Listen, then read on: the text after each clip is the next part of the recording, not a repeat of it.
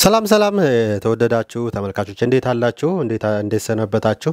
ዛሬ ስለ አባላዘር በሽታ የተወሰነ መግቢያ ያክል ከተነጋገርን በኋላ አንድ የአባላዘር በሽታ ተነጋግረን ተማምረን እንለያያለን ማለት ነው። እንግዲህ የአባላዘር በሽታ ከትርጉሙ ስንጀምር የአባላዘር በሽታ ማለት ባጭሩ ልቅ በሆነ የግብረ ስጋ ግንኙነት የሚመጣ የሚተላለፍ በሽታ ማለት ነው። ልቅ የሆነ ግብረ ስጋ ግንኙነት ሲባል እንደተለመደው ተቃራኒ ጾታዎች ብልት በብልት የሚደረግ ወሲብ ብቻ ላይሆን ይችላል።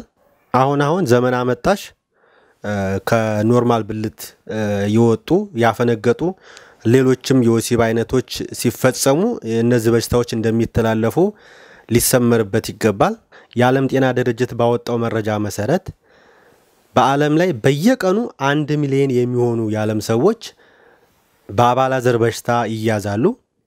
በአመት almost ወደ 376 ሚሊዮን የሚሆኑ ዓለም ላይ የሚገኙ ሰዎች በዚህ በሽታ ይያዛሉ። ከዚህ ውስጥ 127 ሚሊዮኑ chlamydia በሚባል የአባላዘር በሽታ ነው የሚያዙት። 87 ሚሊዮኑ ደግሞ በ gonorrhea ነው። 6.3 ሚሊዮን የሚሆኑት ደግሞ syphilis በሚባል የአባላዘር በሽታ ነው። 156 ሚሊዮኑ almost ግማሽ አካባቢው ማለት ነው trichomoniasis በሚባል የአባላዘር በሽታ በየአመቱ ይያዛሉ። እንግዲህ ይሄ ቁጥር ቀላል ቁጥር አይደለም፣ በጣም ብዙ ቁጥር ነው። ስለዚህ እነዚህን በሽታዎች ለመከላከል አስቀድመን በቂ የሆነ ግንዛቤ ሊኖረን ይገባል። ከዚህ በመቀጠል የአባላዘር በሽታ አይነቶችን ዋና ዋናዎችን ለማየት እንሞክራለን። ልክ screen ኡ ላይ እንደምትመለከቱት ብዙ አይነት የአባላዘር በሽታዎች አሉ። ዛሬ የመጀመሪያውን gonorrhea ን በደንብ አድርገን እናያለን። ቀሪዎቹን ሶስቱን ደግሞ በቀጣዩ ቪዲዮ ይዤ ለመቅረብ እሞክራለሁ። ከዚያ ቀጥሎ ያለው human papilloma virus ነው። ይህ ቫይረስ ለማህፀን በር ካንሰር ዋነኛ ምክንያት የሆነው ቫይረስ አይነት ነው። ስለ ማህፀን በር ካንሰር ደግሞ ያስተማርኩት ቪዲዮ አለ። እሱን ከፈለጋችሁ አሁንም ከስር description ላይ አስቀምጥላችኋለሁ። ስለ hepatitis B ና C virus ደግሞ በሰፊው ያስተማርኩበት ቪዲዮ አለ። ስለ እነዚህ ቫይረስም በቂ ግንዛቤ እንዲኖራችሁ ከፈለጋችሁ አሁንም የእነዚህን ቪዲዮ link ከስር አስቀምጥላችኋለሁ። ቀጥሎ ያለው chancroid ነው። ይሄ ብልትን ቆርጦ የሚጥል የአባላዘር በሽታ አይነት ነው። እንግዲህ ቀሪዎችም ብዙ አሉ ከስር። ስለ እነዚህም በቀጣይ ጊዜ ሲኖረኝ በሰፊው የማቀርብላችሁ ነው የሚሆነው። ዛሬ ግን ስለ gonorrhea ሰፋ ያለ ትንታኔ ይዤላችሁ ቀርቤያለው። ከዛ በፊት ግን ለምን አንድ የዩቲዩብ ቻናል አላስተዋውቃችሁም? የዩቲዩብ ቻናሉ ዶክተር ወረታው በዛብህ ይሰኛል። በእሳቸው ስም የተከፈተ የዩቲዩብ ቻናል ነው። አንደበታቸው የማይጠገብ ታላቅ ሰው ናቸው ዶክተር ወረታው። ስለ ስራ ፈጠራ፣ ስለ entrepreneurship በጣም ብዙ ብዙ ሚዲያ ላይ ብዙ መድረኮች ላይ አስተምረዋል። የማሰልጠኛ ተቋምም አላቸው። ብዙ መጽሐፍትና ብዙ ሲዲዎችንም አሳትመዋል። አሁን ደግሞ በዩቲዩብ ተከስተዋል። እኔ በዩቲዩብ መምጣታቸውን ሳውቅ በጣም በጣም ነው ደስ ያለኝ። እጅግ በጣም ጠቃሚ የሆነ ትምህርት ነው የሚያስተምሩት። ነፍስ የሆነ ትምህርት ነው የሚያስተምሩት፣ ምንም ያለምንም ማካበድ። እኔ ቻናላቸውን ያስተዋወቅኩት አስተዋውቅልኝ ብለውኝም አይደለም፣ እንደምታተርፉበት እርግጠኛ ስለሆንኩ ለመጠቆም ያክል ብቻ ነው። እንግዲህ ወደ ጎኖሪያ ስመጣ ጎኖሪያ በሽታን የሚያመጣው ባክቴሪያ ኔዜሪያ ጎኖሪያ የሚባል የባክቴሪያ አይነት ነው። መተላለፊያ መንገዱ ደግሞ ቀጥዬ የምጠቅሳቸው ሶስቱ መንገዶች ናቸው። አንደኛውና የመጀመሪያው ዋነኛው መተላለፊያ መንገድ ልቅ የሆነ ግብረ ስጋ ግንኙነት መፈጸም ነው። የሚፈጸመው ግብረ ስጋ ግንኙነት ከላይ እንደጠቀስኩት የግድ ብልት ከብልት ላይሆን ይችላል። አሁን ዘመን አመጣሽ እጅግ ለመስማት የሚሰቀጥጡ ሌሎች አይነቶች የወሲብ አይነቶች አሉ። እነሱን ያው ታውቋቸዋላችሁ። በእነሱም ጭምር እንደሚተላለፍ ግን ልታሰምሩበት ይገባል። ሁለተኛው መተላለፊያ መንገድ በተለይ ሴቶች ከስሜት ጋር በተያያዘ የሚጠቀሙባቸው አንዳንድ መሳሪያዎች አሉ። ያው የሚገባችሁ ይገባችኋል ብዬ አስባለሁ። እነሱን መዋዋስ አሁንም ለዚህ በሽታ መተላለፊያ መንገድ ሊሆን ይችላል። ሶስተኛውና የመጨረሻው መተላለፊያ መንገድ ከእናት ወደ ልጅ ነው። እናትየዋ ይሄ በሽታ ካለባት በወሊድ ሰዓት ቀጥታ ወደ ልጁ ይህ በሽታው ይተላለፋል። በሌላ መንገድ ለምሳሌ በደም ንክኪ፣ በመሳሳም፣ በመተቃቀፍ፣ አብረው በመዋኘት እና በሌላም መንገድ ይህ በሽታ አይተላለፍም። ምልክቶቹን ስንመለከት እንግዲህ ይህ ባክቴሪያ ወደ ሰውነታችን ከገባ ከሁለተኛው ቀን ጀምሮ እስከ 14ተኛው ቀን ቀጥዬ የምጠቅሳቸውን ምልክቶች ሊያሳይ ይችላል። ነገር ግን አብዛኛው ሰው ይህ ባክቴሪያ የገባበት አብዛኛው ሰው ምልክት አያሳይም። ይህ ማለት ግን በሽታውን አያስተላልፍም ማለት አይደለም። ባክቴሪያው አለበት፣ ነገር ግን ያለምንም ምልክት ወደ ሌላ ሰው ሊያስተላልፍ እንደሚችል ልታውቁ ልትገነዘቡ ይገባል። አንድ ሰው አልታመምም ማለት በሽታ የለበትም ማለት እንዳልሆነ በዛ አጋጣሚ እንድትረዱልኝ ያክል ነው። የመጀመሪያው ምልክት በተለይ በወንዶች ሲሸኑ ማቃጠል ነው። ሲሸኑ ከፍተኛ ህመም ይሰማቸዋል። አልፎ አልፎም ደግሞ የመቆራረጥ አሁንም አሁንም ሽንት የመጣ የማለት አይነት ስሜት ይሰማቸዋል። በሽታው እየጠና ሲሄድ ደግሞ ቆለጣቸው ሊያብጥና ከፍተኛ የሆነ ህመም ሊሰማቸው ይችላል። ሌላውና ዋነኛው እንደዚሁም ደግሞ ወደ ጤና ተቋም እንዲመጡ የሚያደርጋቸው ዋነኛው ምልክት በሴትም በወንድም ማለት ነው ያልተለመደ መግል የሚመስል ፈሳሽ ከብልታቸው ይወጣል።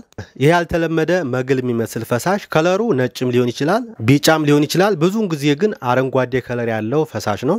ሌላው በሴቶች በወር አበባ መሃል ወይም ደግሞ ወር አበባ ከሄደ በኋላ ያልተለመደ ከብልት የሚወጣ ጠብ የሚል ደም ሊያጋጥም ይችላል። ሌላው በሁለቱም ጾታዎች ወሲብ በሚያደርጉ ሰዓት ከፍተኛ የሆነ ህመም ሊሰማቸው ይችላል፣ በተለይ በሴቶች ላይ። ሌላው በአፋቸው ለሚያደርጉ ሰዎችም ምናልባት ጉሮሯቸው አካባቢ ከፍተኛ የሆነ ህመም እንዲሰማቸው ምክንያት ሊሆን ይችላል። የምርመራ አማራጩን ስንመለከት ይህን በሽታ ለመመርመር የግድ የተወሳሰበ የላቦራቶሪ ምርመራ አስፈላጊ ላይሆን ይችላል።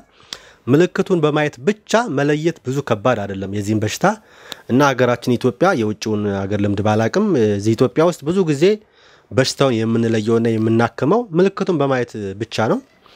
ነገር ግን በደንብ ለማረጋገጥ የላቦራቶሪ ምርመራ ማድረግም ጠቃሚ ነው። የላቦራቶሪ አማራጮቹ ሁለት ናቸው። የመጀመሪያው ከላይ ገለጽኩላችሁን ያልተለመደ መግል የሚመስል ፈሳሽን በማይክራስኮፕ ማየት ነው። ሁለተኛው አማራጭ ደግሞ አሁንም ይሄ ከላይ ገለጽኩላችሁ ፈሳሽ እሱን በላቦራቶሪ እንዲያድግ በማድረግ ባክቴሪያውን መለየት ነው።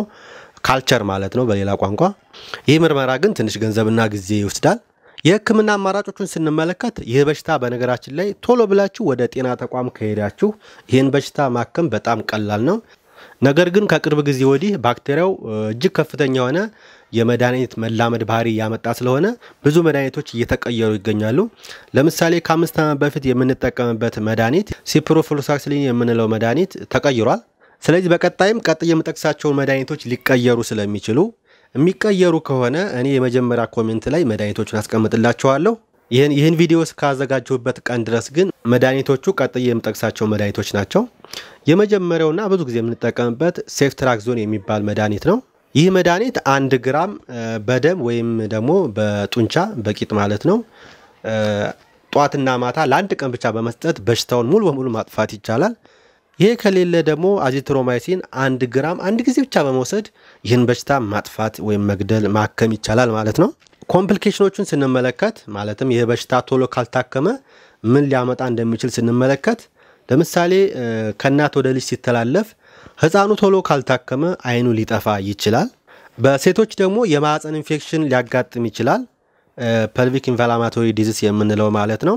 ማዕፀን ደግሞ ለኢንፌክሽን በጣም ሴንሲቲቭ ስለሆነ ከፍተኛ የሆነም ሊያጋጥም ይችላል። ለምሳሌ ከፍተኛ የሆነ ትኩሳት፣ ከፍተኛ የሆነ ህመም እና አልፎ አልፎም የተወሰነ ደም ከማህፀን ሊፈስ ይችላል።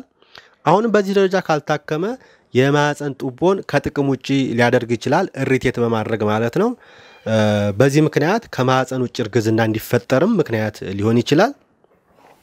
አሁንም በዚህ ደረጃ ካልታከመ በሁለቱም ጾታ መካንነት እንዲከሰት ምክንያት ሊሆን ይችላል። ምክንያቱ ደግሞ የዘር መተላለፊያና የእንቁላል መተላለፊያ ቱቦዎችን ከጥቅም ውጭ ስለሚያደርጋቸው ማለት ነው። ይህ በሽታ እንዳይዘን መከተል ያለብንን መንገዶች ስንመለከት ይህንን በሽታ ለመከላከል ኤች አይቪ ለመከላከል የምንጠቀምባቸውን የምህጎችን መተግበር ነው ዋነኛው መከላከያ መንገድ። ለምሳሌ የመጀመሪያው መታቀብ ነው። መታቀብ ካልቻልን ደግሞ መወሰን ነው። መወሰን ካልቻልን ደግሞ ኮንዶም መጠቀም ይኖርብናል ማለት ነው። ከዚህ በተጨማሪ ሴቶች ለወሲባዊ እርካታ የሚጠቀሙባቸው አንዳንድ እቃዎች አሉ። ያው የምታውቁ ታውቋቸዋላችሁ። እነዚህን አለመዋዋስ ነው። የመጨረሻው መከላከያ መንገድ ደግሞ በየጊዜው ጤናን መመርመር ነው። gonorrhea ን ብቻ ሳይሆን ሌሎች ብዙ silent killer ኦች አሉ። እነዚህንና ሌሎችን በሽታዎች ለመከላከል የተሻለው አማራጭ በየጊዜው ቢያንስ በአመት ሁለት ጊዜ ሙሉ የጤና ምርመራ ማድረግ ነው የሚጠቅመው። እንግዲህ ዛሬ ቪዲዮ እንደጠቀማችሁ ተስፋ አደርጋለሁ። በትምህርቴ ደስተኛ እንደሆናችሁ ተስፋ አደርጋለሁ። ደስተኛ ከሆናችሁ እኔንም ለማስደሰት like እንድታደርጉልኝ ጋብዛለሁ ቪዲዮን። በቀጣይ ሌሎችን ትምህርቶች ይዤ እቀርባለሁ። እስከዛው ሰላማችሁ ይብዛልኝ። ደህና ሁኑልኝ።